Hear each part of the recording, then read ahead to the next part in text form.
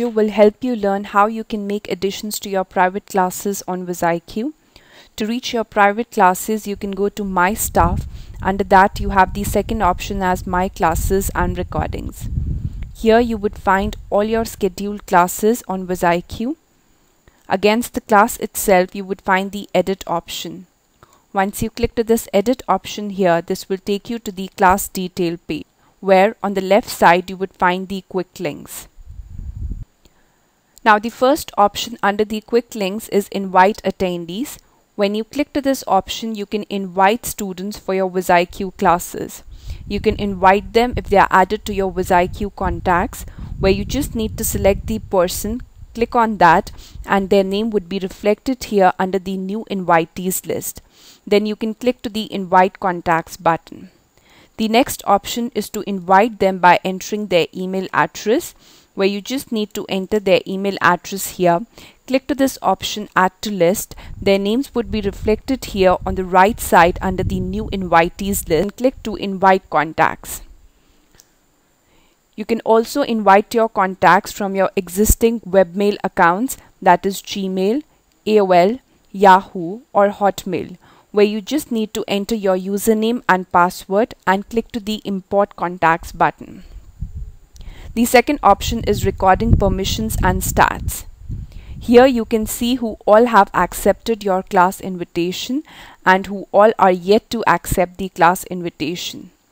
You would find the members who would be attending your class under the attending tab and the awaiting reply tab will show the list of students who are yet to accept your class invitation. At the top you would find the recording access permissions. You can permit your students to view or download the class recordings from here.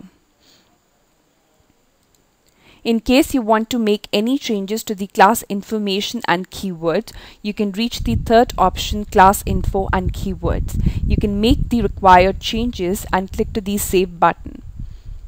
The fourth option is class and recording settings. You can make additions to the class duration, if you want your attendee's name to be displayed on the class page, you can select to yes. Being a premium teacher on WiZiQ, you can allow your students to enter the virtual classroom without signing up. You can select to yes for this. You can change the class type whether you would like to schedule an audio and video class or audio class. You can also record your classes and permit the class recordings for your students. You can allow private chat if you are a premium teacher on WiZiQ. You can also set the maximum users allowed in the classroom. If you are a premium teacher with WiZiQ, you can co-brand your virtual classroom by entering your own name. And you can also set the class fee if you are a premium teacher. Once you make the required changes, you can click to the Save button. The next option under the quick links is comments. If you have any comments added to your class page, they would be displayed here.